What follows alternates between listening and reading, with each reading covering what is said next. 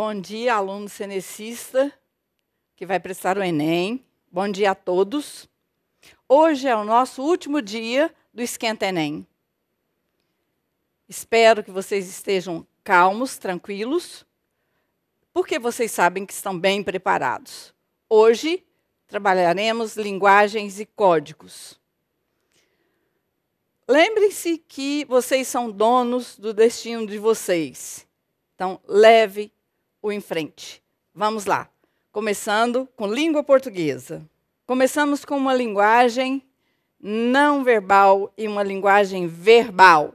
Vamos nos lembrar que a linguagem não verbal é muito importante. Vamos verificar o que estamos vendo aí.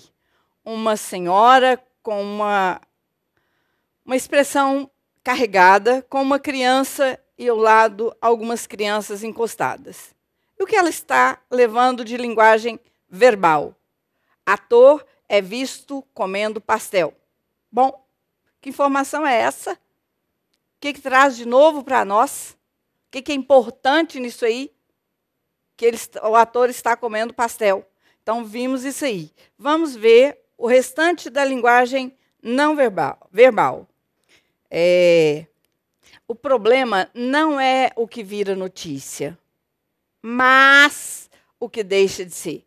Lembre-se do mas, que introduz a parte mais importante, mais enfática. Então, o texto é fácil, tranquilo. Vamos verificar o que eles querem de nós nesta questão.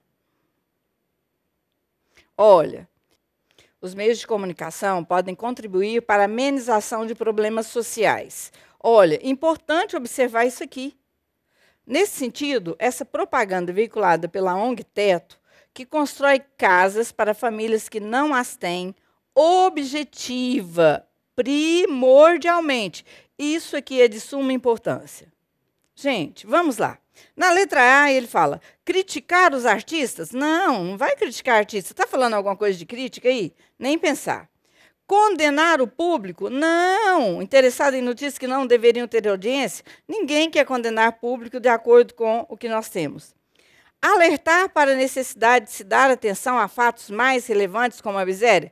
Gostei dessa aí. Seria esta a nossa resposta? Mas vamos verificar o restante criticar o excesso de veiculação de notícias irrelevantes na mídia, principalmente na internet? Não, gente, não há crítica. Há crítica, mas cuidado com o final. Principalmente na internet. Isso ficou claro? Deixou, chamou sua atenção? Não. Promover a campanha da ONG de arrecadação, não está falando de, arrecada, de para a construção de casas, não, falou que é, constrói em casa. Então, a nossa resposta aí seria D, e vamos verificar se é isso mesmo. Isso, vamos lá, moçada. Eu acho que agora a coisa vai andar. Vamos embora. Isso.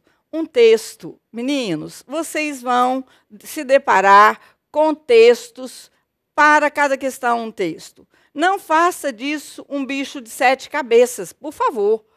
Leiam, leiam o enunciado primeiro, depois, verifique, porque vocês às vezes têm a mania de falar o texto é longo e o texto longo pode me, me atrapalhar. Não, tente olhar enunciado, verificar se na, nas alternativas você conhece o assunto.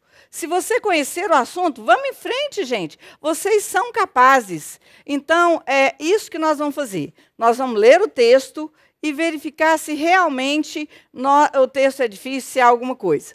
Observe a seleção lexical. O que, que, é isso? Seleção lexical. Gente, a escolha do vocabulário. O que, que ele escolheu? Observe a estrutura do texto. Vocês estão habituados com isso em todas as redações. Observem isso. Observem. Vamos lá o texto. Sua fala era uma vibração de amor que alvoraçava os corações, o olhar como luz de lâmpada encantada, que fascina e desvaira. O sorriso era um lampejo de volúpia, que fazia sonhar com as delícias do Éden. Era, enfim, o tipo mais esmerado da beleza sensual, mais habituado por uma alma virgem, cândida e sensível. Era uma estátua de Vênus animada por um espírito angélico. Ainda que Eugênio não conhecesse e amasse Margarida desde a infância, ainda que a visse então pela primeira vez, era impossível que toda virtude e austeridade daquela, daquele cenobita em botão não se prostrasse vencido diante daquela deslumbrante visão. Margarida estava vestida de cor-de-rosa, com muita graça e simplicidade. Tinha por único enfeite na cabeça um simples botão de rosa. Eugênio esteve por muito tempo mudo e entregue a um indizível acanhamento diante da companheira de sua infância, como se se achasse em presença de uma alta e poderosa princesa. Bernardo Guimarães. Então, a leitura, vocês observaram na leitura aí, que ele trabalha bastante é, a escolha lexical. Então, observe aqui: a organização do texto e as escolhas lexicais, organização do texto e as escolhas lexicais são pensadas para produzir determinado efeito. Esse texto, por exemplo, foi estruturado utilizando fundamentalmente da tipologia. Então, tipologia nós já esperamos em qualquer tipo de prova. Já esperamos. São cinco, não é isso? Nós temos o argumentativo, né? nós temos o narrativo, o descritivo, o injuntivo e o preditivo. Ele vai trabalhar isso aí nesse momento. Então, olha, facílimo, relembrando, vamos trabalhar essa situação. Olha, letra A. Narrativa ao relatar o relacionamento amoroso. Houve relato disso, gente? Não, senhores. Dissertativa, apresentar a defesa? Não. Injuntiva, ah, está dando uma instrução de bolo? Não, nem pensar nisso. Informativa? Não, não está só informando. Descritiva ao produzir um retrato subjetivo das características de Margarida. Gente, olha a resposta, facílima. Estamos trabalhando aí em tipologia. Não podem se esquecer que a tipologia estará em uma prova, em, em sua prova, com certeza, amanhã. Vamos para frente, vamos ver se dá certo aqui. Isso, vamos lá. Começamos a acertar, gente. Nós vamos chegar lá. Olha a questão, então. Linda, ouçam, vejam aí o que nós temos de, de, de audição, de o que, que te chama atenção aí. Ave, a raiva desta noite, a baita lasca fúria abrupta, louca besta vaca solta, ruiva luz que contra o dia, tanto e tarde madruga. Leminski, gente, o poeta é, concretista. É, então vamos lá. O que, que querem de nós? Eu já percebi no segundo verso uma repetição imensa aqui de vogais, que nós temos assonância, nós temos a literação, nós temos paranomásia. O que, que será que ele está querendo de nós nessa questão? Olhe, no texto de Leminski, a linguagem produz efeitos sonoros e jogos de imagens. Esses jogos caracterizam a função poética da linguagem. Isso que eu queria mostrar muito para vocês. Senhores, mudaram-se as provas que cobram as funções da linguagem, o estilo de questão. Como assim que eles mudaram o estilo de questão? Eles não dão um texto e perguntam para você: olha, aqui eu quero saber qual a função utilizada. Não há mais isto. Agora é diferenciado. Então eu vou correr três questões mais rápido, só para mostrar para você como que está acontecendo o estilo de questões. Então ele já diz, diz para nós que é a função poética. Se ele diz para nós que é a função poética, nós sabemos que ela está centrada principalmente nas figuras de linguagem. Quando ele fala para nós que objetivam convencer, nós sabemos que aqui nós temos a referencial. Olha, objetivam convencer o leitor, praticar uma ação determinada, praticar ação. Não, referencial nada. Nós temos uma conativa. Nós vamos convencer. Então, conativa. Transmitem informações visando levar o leitor a adotar um determinado comportamento. Ô, gente, quando eu quero influenciar o leitor, o que, que eu tenho? Eu tenho uma conativa, sim. Visam provocar ruídos para chamar a atenção do leitor, do leitor. Oh, isso aqui é fática, gente. Provocar ruído, chamar a atenção do interlocutor. Apresenta uma discussão sobre a própria linguagem. Ah, metalinguística, senhores. Então, o que, que eu quero é a função poética. Se é a função poética, representa o uso artístico da linguagem com o objetivo de provo provocar prazer estético no leitor. Então, letra E, e vamos lá verificar se é isso mesmo. Muito bem, vamos agora rapidamente passar para outra. Desabafo. Desculpem-me, mas não dá para fazer uma crônicazinha divertida hoje. Simplesmente não dá. Não tem como disfarçar. Essa é a típica manhã de segunda-feira.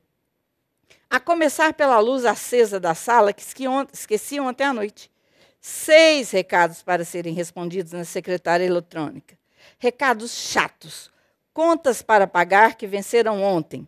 Estou nervoso. Estou zangado. Então, eu tenho o carneiro e vamos ver o que, que ele está querendo de nós nesse texto. Ele fala: nos textos em geral é comum a manifestação simultânea de várias funções da linguagem. A função da linguagem aí. Com predomínio, entretanto, de uma sobre as outras. Vamos lá, então. Ele diz para nós que a função da linguagem predominante é emotiva expressiva, centrada no emissor.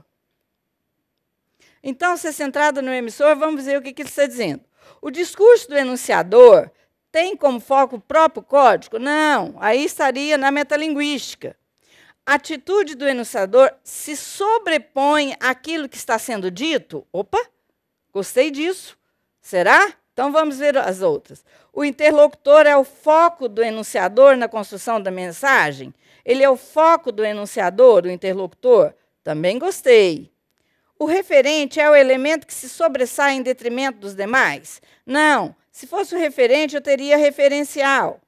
O iniciador tem como objetivo principal a manutenção da comunicação? Não, gente, aí seria o quê? A fática. Então vamos lá. A atitude do enunciador se sobrepõe se sobrepõe àquilo que está sendo dito. A função do emissor aqui é mais forte sobre tudo que está acontecendo. Então, eu tenho a emotiva. Observe que já vem é, nessa situação aí. Vamos em frente, senhores.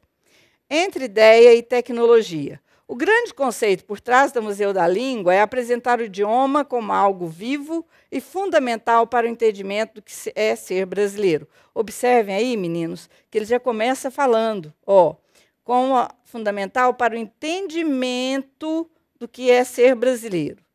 Se nada nos define com clareza a forma como falamos o português nas diversas situações cotidianas, é talvez a melhor expressão da brasilidade. Aqui nós vamos falar da nossa da nossa língua e vamos verificar o que, que ele está pedindo. O texto propõe uma reflexão acerca da língua portuguesa ressaltando para o leitor. A inauguração do museu e a, o grande investimento da cultura no país? Não, não pensamos nisso. A importância da língua para a construção da identidade nacional? Bom, tem bastante coisa a ver aí. A afetividade tão comum ao brasileiro, retratada através da língua? Não, nós não estamos discutindo essa afetividade. O brasileiro é, tem realmente essa característica, mas não é o que nós estamos discutindo agora. Relação entre o idioma e as políticas públicas? Também não. Diversidade étnica e linguística existente? Nesse momento, não. Nesse momento, estamos falando da importância da língua para a construção da identidade nacional. Vamos verificar, então, se é isso aí. Isso. Vamos em frente, moçada. Trabalhemos. Agora, eu queria chamar a atenção de vocês para, é, às vezes, um texto mais longo, um pouquinho, cuidado, não vai saltar o texto e falar, não, eu volto aqui depois. Não dá para voltar. Então, veja que o enunciado, se o enunciado é, te traz informações que você tem conhecimento, então vamos em frente, verifique alternativas, aí dá, dê uma passada de olhos no texto. Com facilidade, meninos, rapidinho, porque não haverá tempo. E observem, linguagens e códigos alcançam uma nota de 800, 800 e pouco, se você for muito bem, muito bem. Então, não é momento de deixar nada de lado. Mas vamos lá à nossa aula. O texto, então, é Chão de Esmeralda. Isso aí, Chico Buarque. Me sinto pisando um chão de esmeraldas quando levo meu coração à mangueira. Sob uma chuva de rosas, meu sangue jorra das veias e tinge um tapete. Para ela sambar, é a realeza dos bambas, que quer se mostrar soberba, garbosa. Minha escola é um catavento a girar. É verde, é rosa. Ó, oh, abre alas para a mangueira passar. Então vamos ver o outro texto. Quando a escola de samba entra na Marquês do Sapucaí, a plateia delira, o coração dos componentes bate mais forte, é o que vale e o que vale é a emoção. Mas para que esse verdadeiro espetáculo entre em cena, por trás da cortina de fumaça dos fogos de artifício, existe um verdadeiro batalhão de alegria. São costureiras, aderecistas, preste atenção nessa parte, diretores de ala, de harmonia, pesquisador de enredo e uma infinidade de profissionais que garantem tudo que esteja perfeito na hora do desfile. Então, nós vamos trabalhar com dois textos e vamos verificar o que eles querem a respeito disso. Ambos os textos exaltam o brilho, a beleza, a tradição e o compromisso do dirigente de todos os componentes com a escola de samba, Estação Mangue Primeira de Mangueira. Uma das diferenças que se estabelece entre os textos, diferenças entre os textos é que o artigo jornalístico cumpre a função de transmitir emoções e sensações mais do que a letra? Não, gente. Ele passa lá no iníciozinho, mas não tem nada a ver mais do que a letra. A letra da música privilegia a função social de comunicar seu, a, a seu público a crítica. Não, gente, não pensemos nisso. A linguagem poética, no texto 1, valoriza imagens metafóricas e é a própria escola, enquanto a linguagem, no texto 2, cumpre a função de informar e envolver o leitor. Ô, oh, gente, essa tem uma cara muito boa, mas verificamos a, o restante. Ao associar esmeraldas e rosa às cores da escola, o texto 1 acende a rivalidade? Não, gente, não há rivalidade aí. O texto 1 sugere a riqueza material da mangueira? Não, as belezas. Então, nós vamos ficar realmente com a letra C e vamos em frente. Gente, a linguagem poética, no texto 1, valoriza imagens metafóricas e a própria escola, enquanto a linguagem no texto 2, cumpre a função de informar e envolver o leitor.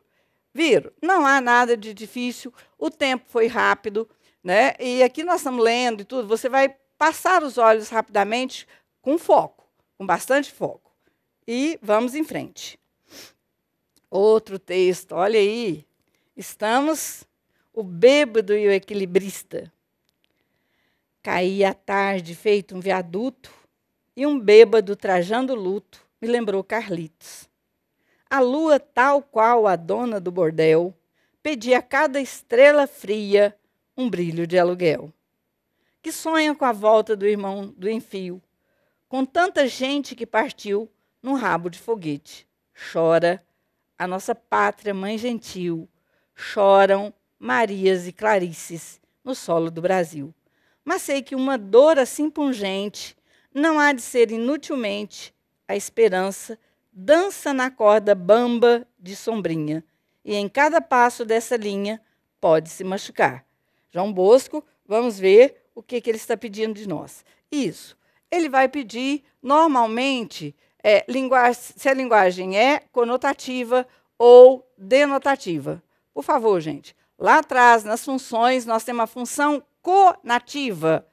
Aqui persuade, aqui convence. Aqui nós estamos falando de linguagem figurada, nós estamos falando de conotação, conotativo. Que linguagem? Eu quero saber de vocês que pode-se dizer que ocorre linguagem conotativa no seguinte verso dessa canção. E verifiquemos aí o que, que nós temos. E um bêbado trajando luto me lembrou Carlitos. Bom, isso é denotativo. Que sonha com a volta do irmão em fio, sonha sim com a volta dele para o Brasil. Então, mais que uma dor assim pungente, é uma dor forte, mas olhe, né? Com tanta gente que partiu num rabo de foguete, gente. É, que foi embora mesmo daqui. Então, a nossa situação conotativa está aqui. As Marias e Clarice realmente choram. Então, letra D, e nós sabemos que estaremos aí. Agora teremos mais dois textos, mais um texto mais longo um pouquinho. Por favor, não entrem em pânico com texto longo. Não é tão longo assim. Não deixe para trás, não há tempo de volta. Nós precisamos dessa nota. Nós precisamos de códigos e linguagem. Então, vamos trabalhar isso aí atentamente. Mais um texto. A bem dizer, sou Ponciano de Azeredo Furtado, coronel de patente, do que tenho honra e faço alarde. Herdei do meu avô Simeão terras de muitas medidas, gado do mais gordo, pasto do mais fino. Leio no corrente da vista e até uns latins arranhei em tempos verdes da infância. Com os padres mestres, a dez tostões por mês. Digo, modéstia de lado, que já discuti e joguei no assoalho do fórum mais de um doutor formado. Mas disso não faço glória, pois sou sujeito lavado de vaidade, mimoso no trato, de palavra educada. Trato as partes no macio, um jeito de moça. Se não recebo cortesia de igual porte, abro o peito. Seu filho de uma de égua, que pensa que é? Meus dias de sossego findaram quando fui pegado em delito de sem-vergonhismo em campo de pitangueiras. O par da Vasquinha, dessa intimidade de mato, ganhou dúzia e meia de bolos e eu recriminação de fazer um frade de pedra verter lágrima. Simeão, sujeito severoso, veio do sobradinho aquilatar o grau de safadeza do neto. Levei solavanco de orelha, fui comparado aos cachorros dos currais e por dois dias bem contados fiquei em galé de quarto escuro. No rabo dessa justiça, meu avô deliberou que eu devia tomar rumo da cidade. Na mão dos padres, eu corto os deboches desse desmazelado. José Cândido de Carvalho é ótimo, gente, gostamos muito. Vamos ver o que ele quer nessa questão. E vamos lá. Quanto ao estilo e à linguagem, Olha aí o que nós queremos. Empregado no trecho do romance de José de Cândido Carvalho, nota-se que o autor evitou utilizar vocábulos eruditos e construções sintáticas próprias da norma padrão da língua portuguesa para garantir a veracidade do emprego da linguagem regional? Não, gente, nem pensar nisso.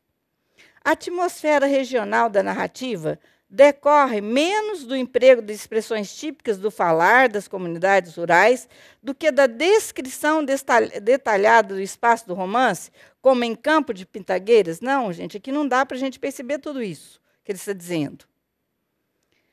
A expressão no rabo dessa justiça é empregado como um recurso estilístico. A linguagem do texto formal, não, gente, é a informalidade que nós temos aí. O estilo do autor capta as variações linguísticas do Brasil interiorano com a utilização de sufixos incomuns na norma padrão da língua, sem vergonhismo e severoso. Bom, essa está bem direcionada. Vamos ver a última. Ponciano, por meio da fala, seu filho de égua, que pensa que é, pretende enfraquecer a hierarquia do poder local? Não, gente, de jeito nenhum. Então, nós vamos ficar mesmo com a letra D.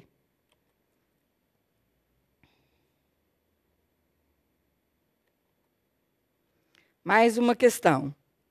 Gente, então nós temos aí, ó, nós vimos que nós tivemos propaganda, que nós tivemos textos líricos, que nós tivemos poemas, que nós tivemos textos de, de romances, tivemos uma variedade textual muito grande. E estava faltando para nós a tirinha. Então temos aí a tirinha. Tudo isso vai acontecer na prova de domingo? Com certeza. Com certeza. Então, observe o que? Linguagem verbal e não verbal. Isso é de suma importância. O que, que nós temos aí? Nós temos um gatinho abandonado. Precisamos arrumar casa para ele. Vamos nos mobilizar pela internet. Ó, oh, gente, realmente há um gatinho na caixinha, abandonado, certo? E observem aí que nós vamos, eles estão interessados e vão. Mas o que, que nós temos que observar principalmente? Olha aqui do lado. Olha aqui do lado. Então, vamos tentar resolver a questão.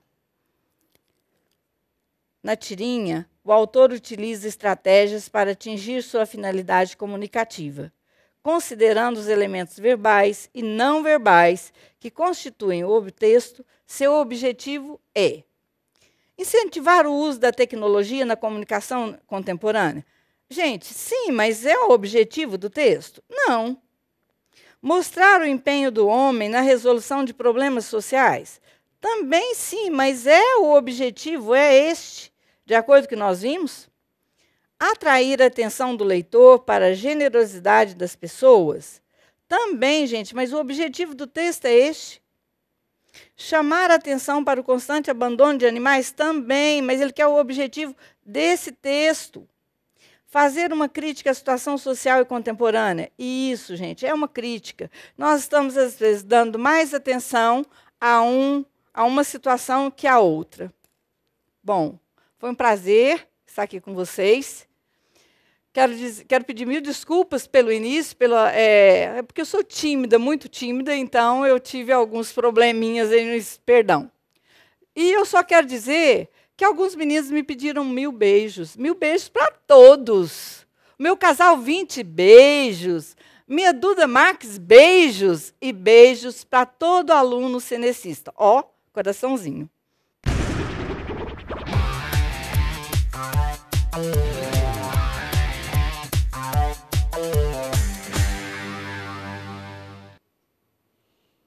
Olá, moçada. Bom dia. Eu sou o professor Rafael. Nós vamos, depois dessa aula brilhante da professora Vera, vamos dar continuidade e falar de linguagem corporal, que é a área da educação física, certo? Lembrando que na, no Enem é, caem de, de uma a três questões, né? Tem provas que caem duas, tem provas que caem três. A gente tem que estar tá muito atento sobre algumas questões que, que hoje em dia se cobram muito, certo? Então a gente separou algumas questões e vamos mandar brasa aí e tentar é, resolver as questões com vocês, certo? Vamos lá. Ó, primeira questão aí. Liberada. Judoca árabe faz histórias nos Jogos Olímpicos de Londres, aos 16 anos de idade. A judoca Wodjan Ali Seraj Saher Khan, da categoria peso pesado acima de 78 quilos, fez história nos Jogos Olímpicos de Londres 2012. Ela se tornou a primeira mulher da Arábia Saudita a disputar uma Olimpíada. Isso depois de superar não só o preconceito em seu país, como também o quase veto da Federação Internacional de Judô, a FIGE, que não queria permitir que a atleta competisse vestindo o hijab, o tradicional véu islâmico, certo? Então vamos lá, ó. No âmbito do esporte de alto rendimento, o uso do véu pela lutadora saudita durante os Jogos Olímpicos de Londres 2012 representa. Bom, lembrando, gente, que o esporte de alto rendimento, como está escrito aqui, ó, é o esporte competitivo. É o esporte que visa a competição de alto nível. Então, alto rendimento, alto nível. Então, ó, a lutadora saudita durante os Jogos Olímpicos de 2012 representa o descumprimento, o descumprimento da regra oficial do judô Vamos lá, olha aí. O risco para a integridade física das atletas adversárias, ela usando o hijab lá, o véu islâmico, ofereceria um risco para a integridade física das atletas adversárias? Letra C. A vantagem para a atleta saudita na competição de judô? Letra D. A influência de aspectos culturais e religiosos no esporte? Ou letra E. A dificuldade da mulher islâmica para vencer os preconceitos? Então, o hijab o hijab, é, né, no, nos Jogos Olímpicos de 2012, ele influencia os aspectos culturais e religiosos no esporte. Então a letra correta é a letra D. Ok? Certinho? Alguma dúvida? Acho que não, né? Essa ficou bem claro. Vamos passar para frente aí. Olha aí, vamos falar de saúde. No modelo atual de qualidade de vida, é o resultado das condições de alimentação, habitação, educação, renda, trabalho, transporte, lazer, serviços médicos e acesso à atividade física regular. Correto? Então, vamos lá. Quanto ao acesso à atividade física, um dos elementos essenciais é a aptidão física, entendida como a capacidade de a pessoa utilizar seu corpo, incluindo músculos, esqueleto, coração, enfim, todas as partes, de forma eficiente em suas atividades cotidianas. Logo, quando se avalia a saúde de uma pessoa, a aptidão física deve ser levada em conta. A partir desse contexto, considera-se que, uma pessoa tem boa aptidão física quando? Vamos lá, gente. Aptidão física, como o texto diz, é a capacidade da pessoa de utilizar seu corpo com músculos, esqueleto, coração, todas as partes. Ok? Então, a partir desse contexto, considera-se que uma pessoa tem uma boa aptidão física quando apresenta uma postura regular? Sim. Quando ela tem uma postura, é, uma boa postura, ela tem uma boa aptidão física, mas não é só isso. Continue, continuemos. É, pode se exercitar por períodos curtos de tempo? Não. Quem tem uma boa aptidão física não consegue. É, quem tem uma boa aptidão física consegue é, fazer atividade, se exercitar em períodos longos de tempo. Letra C. Pode desenvolver as atividades físicas do dia a dia independentemente de sua idade. Olha aí, gostei dessa, mas vamos continuar aí. Pode executar suas atividades do dia a dia com vigor, atenção e uma fadiga moderada a intensa. Então, ó, atenção aí, ó, com uma fadiga de moderada a intensa. Se tem fadiga, não, não tem uma boa aptidão física, certo? Letra E Pode exercer atividades físicas no final do dia, mas suas reservas de energia não são suas, suas reservas de energia são insuficientes para atividades intelectuais. Então não. Acerta, letra C, pode desenvolver atividades físicas do dia a dia, independentemente da sua idade. Nós não, vemos, nós não vimos aí a tia Vera é, de, dando, uma aula, dando uma aula brilhante para a gente, independentemente da idade, está com uma boa aptidão física. Certo? Vamos lá, vamos continuar. Vamos lá. Os conhecimentos de fisiologia são aqueles básicos para compreender as alterações que ocorrem durante as atividades físicas: frequência cardíaca, queimas de caloria, perda de água e sais minerais. E aquelas que ocorrem em longo prazo: melhora da condição cardiorrespiratória, aumento da massa muscular, da força e da flexibilidade, e diminuição do tecido adiposo. A bioquímica abordará conteúdos que subsidiam a fisiologia, alguns processos metabólicos de produção de energia, eliminação e reposição de nutrientes básicos. Então vamos lá. Os conhecimentos de biomecânica são relacionados à anatomia e contemplam principalmente a adequação dos hábitos posturais, como por exemplo, por exemplo, levantar um peso e equilibrar objetos, certo? Em um exercício físico, são exemplos da abordagem fisiológica, bioquímica e biomecânica, respectivamente. Então vamos lá. Está pedindo aqui ó, no texto, respectivamente. Então vamos primeiro falar da fisiologia, depois da bioquímica e, por último, da biomecânica. Gente, não vamos nos assustar com esses termos técnicos, fisiologia, bioquímica e biomecânica. Está tudo bem explicado no texto. Tá? Então, respectivamente, muita atenção. Vamos lá. O tamanho da passada durante a execução da corrida, isso aí não é fisiológico, isso é biomecânico, certo? Então essa questão não está correta. Já de cara, vamos para a letra B. A quebra da glicose na célula para a produção de energia no ciclo de Krebs, certo? Ciclo de Krebs, processo bioquímico. Então, de cara, já podemos ir para a letra C. O aumento da frequência cardíaca, também não. Esse é um processo, ó, o aumento da frequência cardíaca e pressão arterial. O tamanho da passada do é, vamos voltar aqui, ó, letra C. O aumento da frequência cardíaca e pressão arterial, sim, pode ser um processo fisiológico, certo? O tamanho da passada durante a execução da corrida, não, não é um processo bioquímico, é um processo biomecânico. Então, tome muito cuidado com a primeira, com a primeira fala aí da questão, certo? Então, se a segunda está errada, vamos para a letra D. a quebra da glicose na produção de energia no ciclo de Krebs. Novamente, é um processo bioquímico e não fisiológico. Estamos procurando processo fisiológico. Letra E, o aumento da frequência cardíaca e da pressão arterial. Correto. A quebra da glicose na célula para a produção de energia no ciclo de Krebs. Correto, processo bioquímico.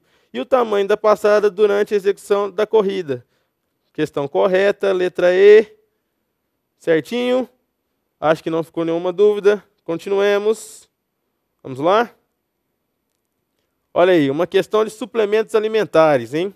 O uso de suplementos alimentares por adolescentes, evidências médicas sugerem que a suplementação alimentar pode ser benéfica para um pequeno grupo de pessoas, aí incluídos atletas competitivos, cuja dieta não seja balanceada.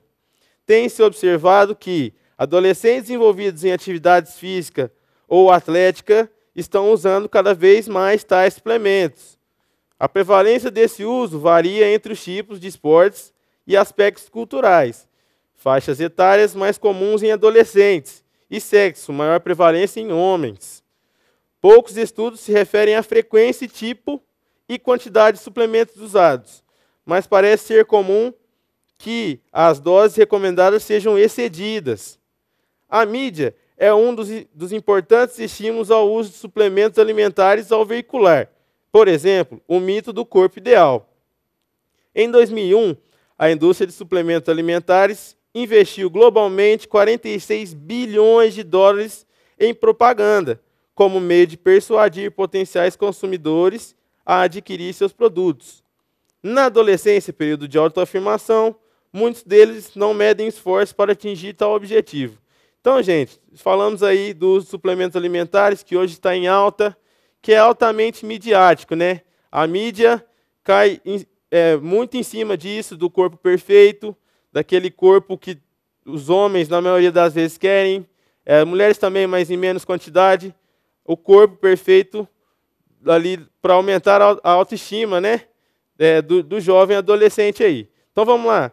Sobre a associação entre a prática de atividades físicas e o uso de suplementos alimentares, o texto informa que a ingestão desses suplementos, ó, letra A, é indispensável para as pessoas que fazem atividades físicas regularmente? Não. Indispensável? Não. A gente pode fazer atividade física sem precisar do uso do suplemento alimentar, certo? Letra B. É estimulada pela indústria, voltada para adolescentes que buscam o corpo ideal. Ó, gostei dessa aí, hein? Mas continuemos. Letra C. É indicada para atividades físicas como a musculação, como fins de promoção de saúde. Ó, suplemento alimentar não é usado como fim de promoção de saúde, certo? Letra D. Direciona-se para adolescentes com distúrbios metabólicos que praticam atividades físicas. Pode ser correta, mas não é isso que o texto quer. Certo? Letra E. Melhora a saúde do indivíduo que não tem uma dieta balanceada e nem pratica atividades físicas. Então, o indivíduo que não pratica atividades físicas e não tem uma dieta balanceada, ele precisa de um nutricionista para se indicar o que ele deve se alimentar. Então, não é usar o suplemento alimentar. Então, questão correta, Letra B. É estimulada pela indústria voltada para adolescentes que buscam um corpo ideal. Correto? Essa é bem facinha também. Vamos lá? Vamos continuar. Olha aí, a questão da dança. Né? A dança é um importante componente cultural da humanidade. O folclore brasileiro é rico em danças que representam as tradições e a cultura de várias regiões do país estão ligadas aos aspectos religiosos, festas, lendas, fatos históricos, acontecimentos do cotidiano e brincadeiras, e caracterizam-se pelas músicas animadas, com letras simples e populares, figurinos e cenários representativos. Vamos lá.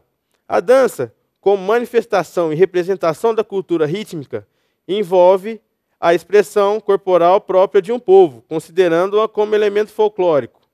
A dança revela, olha aí, manifestações afetivas, históricas, ideológicas, intelectuais e espirituais de um povo, refletindo seu modo de expressar-se no mundo. Olha aí, continuemos. Letra B. Aspectos eminentemente afetivos, espirituais, de entretenimento de um povo, desconsiderando fatos históricos. Letra C. Acontecimento do cotidiano sobre influência mitológica e religiosa de cada região, sobrepondo aspectos políticos. Não, os aspectos políticos estão ligados, hein? Como aqui na questão B, não pode se considerar fatos históricos, tem realmente que considerá-los. Letra D. Tradições culturais de cada região, cujas manifestações rítmicas, rítmicas são classificadas em um ranking das mais originais. Não existe um ranqueamento para classificar qual tradição cultural é mais original ou não. Letra E. Lendas que sustentam em inverdades históricas, uma vez que são inventadas e servem apenas para a vivência lúdica de um povo. Não, elas não são inventadas, são coisas que realmente aconteceu. E aqui, ó, servem para a vivência lúdica de um povo. Não, essa não é certa também.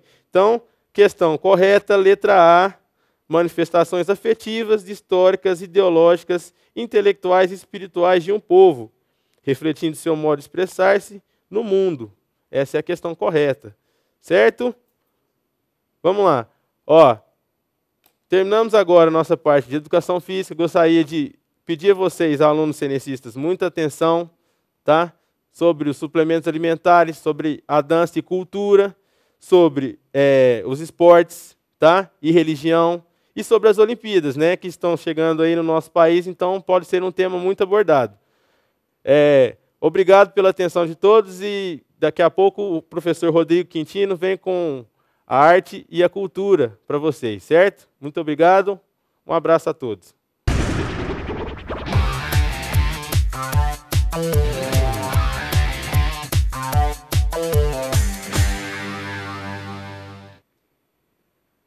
Olá, bom dia. Eu sou o professor Rodrigo e vou falar sobre artes no Esquenta Enem. Bom dia a todos. Vamos lá na primeira questão. No Brasil, a origem do funk e do hip hop remonta aos anos 1970, quando da proliferação das chamadas bailes funks ou baile blacks nas periferias dos, dos grandes centros urbanos, embalados pela black music americana, milhares de jovens encontravam-se nos bailes no final de semana uma alternativa, atenção, uma alternativa de lazer antes inexistente. Em cidades como Rio de Janeiro ou São Paulo, Formavam-se grandes equipes de som que promoviam bailes onde se é, disseminavam um estilo que buscava a valorização da cultura negra, tanto da música quanto nas roupas e nos penteados. No Rio de Janeiro ficou conhecido como Black Rio. A indústria fonográfica descobriu um filão e lançando discos de equipe com as músicas de sucesso nos bailes, difundindo modas pelo restante do país. Vamos nas questões. A presença da cultura do hip hop no Brasil caracteriza-se como uma forma de. Agora aqui tem alguns pegas. Aí agora é a intenção das artes, né, é aprofundar nos pegas. Vamos lá. Lazer gerada pela diversidade. Não havia nenhuma diversidade. Então aqui tem um pega se não existia, então não havia diversidade das práticas artísticas nas periferias urbanas. Letra B. Entretenimento inventado pela indústria fonográfica brasileira ou nacional. Não foi uma indústria fonográfica nacional, pois que era americana.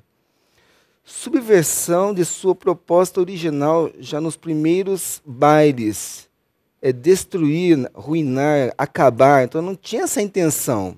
Então aqui já eliminamos essa, essa alternativa, letra, C. A afirmação da identidade dos jovens que a praticam. Bom, vamos dar um pontinho aqui, depois analisamos.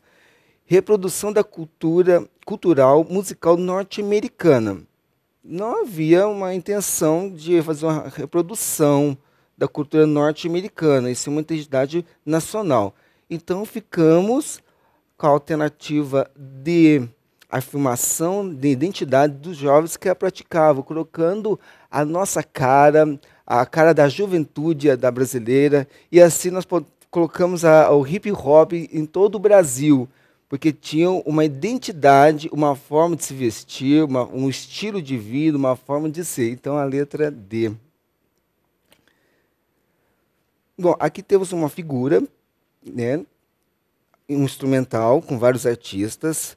Aqui nós temos uma musicista tocando um afoxé, um flautista, um cavaquinho, um bandolim. Aqui atrás, ó, um pandeiro. Aqui na frente, violões, fazendo estilos harmonias diferentes. Aqui caracterizando o choro. A foto mostra integrantes de um grupo de choro, tocando instrumentos de diferentes classificações. Nessa formação, o instrumento que representa a família. É, moçada, a música nos instrumentos, nós estamos divididos em família, das madeiras, das cordas, da família da percussão. Então, aqui, então, pega essa família aqui, tem que ter um pouquinho de conhecimento. Aqui eu vou passar algumas regrinhas como descobrir essas famílias. Das madeiras, então, a família das madeiras é a flauta transversal. Vamos deixar aqui grifado. Letra B. Das cordas percutidas é o cavaquinho.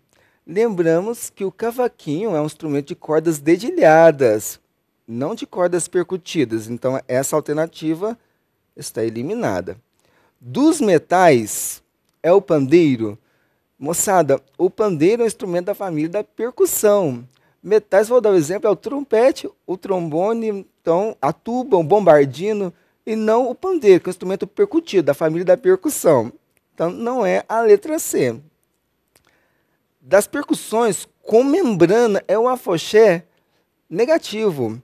O afoxé é um instrumento da família da percussão, não está correto. Mas é de é instrumento raspado, né? Tem pedrinhas, né? Tem um cabo, você fica raspando e não tem nenhuma membrana. É da família da percussão, mas não é a membrana. Então aqui está um pego, ó. Não é de membrana. Das cordas friccionadas, que é o bandolim. Um bandolim não é um instrumento de cordas friccionadas, e sim de cordas dedilhadas.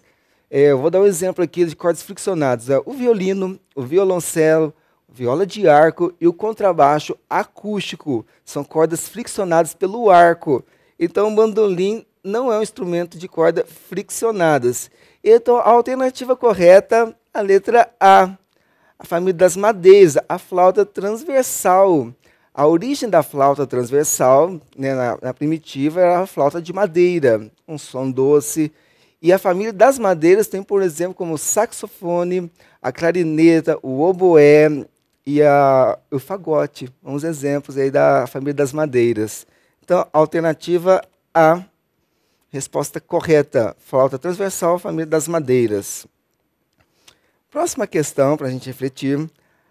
A música pode ser definida com uma combinação de sons longos ao longo do tempo. Combinação de sons ao longo do tempo.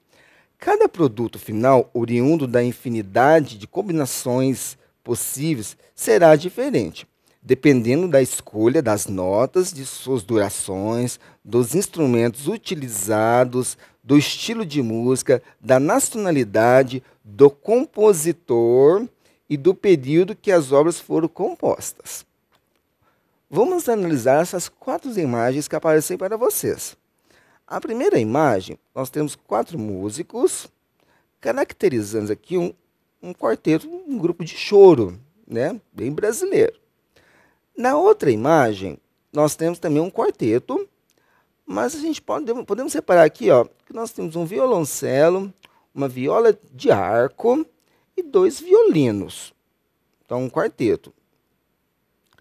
Na figura número 3, nós temos aqui um saxofonista, um pianista, um contrabaixista e um baterista. Bem característico aí do jazz. E na figura número 4, nós temos aqui ó, uma guitarra, um contrabaixo, um baterista e uma cantora. Bem pop, né? Então vamos ver aqui as alternativas. Das figuras que representam grupos musicais em ação, pode-se concluir que os grupos mostrados nas figuras, letra A, a figura número 1 um, executa um gênero característico da música brasileira, conhecido como chorinho. Vou deixar isso aqui marcada. Já a resposta, nós vamos analisar as, as outras questões.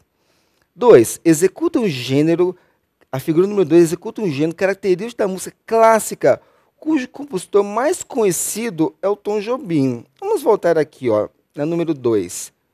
Gente, não tem nada a ver com Tom Jobim. É a música clássica. Tom Jobim estaria mais ligado aqui se fosse a um chorinho, a um MPB, mas não a um quarteto de cordas. Então, não é o Tom Jobim com a música clássica. Na figura número 3, executa um gênero característico da música europeia, que tem como representantes Beethoven e Mozart. Gente, não tem nada a ver aqui com Beethoven Mozart, né? É um estilo de jazz. A figura número 2 sim representaria Beethoven e Mozart, e não a número 3. 4. Executa um tipo de música caracterizado pelos instrumentos acústicos, cuja a intensidade e nível de ruído permanecem na faixa dos 30 aos 40 decibéis. Gente, olha a imagem número 4. Aqui é uma banda de rock. Jamais ficaria no, entre 30 a 40 decibéis. Então, essa alternativa ela está anulada. Então, ficamos com a alternativa número 1, um, que executa um gênero característico da música brasileira, conhecido como chorinho. Olha aqui, ó, um quarteto fantástico, né? Aqui nós temos aqui, ó, um instrumento de percussão, um violão, um bandolim e aqui um cavaquinho. Alternativa número 1, um, letra A. Aqui umas imagens representando o folclore. Né? Nosso folclore é riquíssimo, o Brasil é maravilhoso, as nossas regiões, difundindo aí a cultura brasileira. Vamos na, na alternativa. Cada região do, do país, por meio de suas danças populares, expressa sua cultura, que envolve aspectos, ó, aspectos sociais, econômicos, históricos, entre outros. As danças provam a associação entre música e ritmo, e o desenvolvimento de maior sensibilidade dos órgãos sensoriais. A ampliação da intensidade da audição aumenta a concentração, possibilitando o processo de transformação do ritmo musical em movimento espontâneo, como, por exemplo, de danças. Tem-se o carimbó na região norte e as danças gaúchas na região sul. No contexto, as danças populares permitem a descontração, o desenvolvimento, o descanso por serem atividades lúdicas que, vamos lá, letra A, promovem a interação, o conhecimento de ritmos e permitem minimizar o estresse da vida diária. Vamos deixar aqui para a gente refletir. Reduzem a participação, ó, atenção, ó, reduz a participação, promove a competição em festivais e o conhecimento de outros ritmos. Aqui na segunda parte que fica até interessante. Pode ter uma competição, dependendo do festival, e o conhecimento de outros ritmos. Mas agora, reduzem a participação de quem está participando da atividade, então aí foi um pega. Não reduz, pelo contrário. E pedem a socialização de, ou, de todos. Gente, a música, a arte em geral, ela não tem como objetivo impedir ninguém é, de socializar. Pelo contrário, é agregar pessoas dentro do conjunto e dentro de um grupo. Então aqui já vamos descartar. Permitem o desligamento dos elementos históricos relacionados com os movimentos políticos e sociais. Não é esse o objetivo da cultura e do folclore é, promoveu o desligamento dos elementos históricos. Reduz a expressão corporal. Gente, aqui já descartamos essa, essa alternativa. Reduz a expressão corporal e as, as experiências por utilizar símbolos de outras culturas. Então, a alternativa correta é a letra A. Promovem a interação, o conhecimento de diferentes ritmos e permite minimizar o estresse da vida diária. Vamos para outra questão. Vamos refletir. A, a arte dentro do Enem é extremamente tranquila, é fácil, é só analisar já o texto, depois a, a resposta já vem logo em seguida. Por onde houve a colonização portuguesa, a música popular se desenvolveu basicamente com o mesmo instrumental. Ó, atenção aqui, ó basicamente com o mesmo, o mesmo instrumental. Podemos ver cavaquinho e violão atuarem juntos aqui, em Cabo Verde, em Jacarta, na Indonésia ou em Goa. O caráter nostálgico sentimental é outro ponto comum da música das colônias portuguesas em todo o mundo. O krunjong, a música típica de Jacarta, é uma espécie de lundu, mais lento, tocado comumente com a flauta, mais uma vez citando aqui cavaquinho e violão. Em Goa não é muito diferente. Vamos para as alternativas. De acordo com o texto de Henrique Cases, grande parte da música popular desenvolvida nos países colonizados por Portugal, vamos aqui grifar, colonizados por Portugal, e ele falou do violão e do cavaquinho. No Brasil, são exemplos da música popular que empregam esses mesmos instrumentos, violão e cavaquinho, como vimos anteriormente, que foi citado no texto de referência.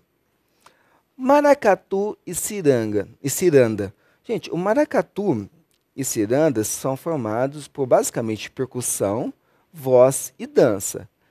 Pode ter o violão, mas não tem o cavaquinho. Então essa alternativa já está descartada. Carimbó e baião. No carimbó, o que fica mais é, é, referente é a dança. O baião vai ter o triângulo, vai ter a dança, mas não vai ter o, o, o cavaquinho. Então já descarga que está falando do cavaquinho e do violão. Choro e samba. Nós brasileiros conhecemos muito bem, né? Choro e samba, o que, que tem nesse ritmo? Então vamos deixar aqui assinalado e depois fazer uma reflexão. Chula e siriri. Gente, é dança, exige a parte instrumental, mas não foca exclusivamente no violão e muito menos no cavaquinho, nesses dois estilos. Shot e frevo. Temos aqui a presença da percussão, da voz, do violão, mas não temos a, a, permanência aqui do cavaquinho. Aqui nós estamos falando do cavaquinho e do violão, que foi mencionado no texto anterior, porque é a referência de Portugal, ó, cavaquinho e violão, atuarem juntos. Então, qual é o estilo aqui no nosso país, nosso querido Brasil, que tem o cavaquinho e o violão?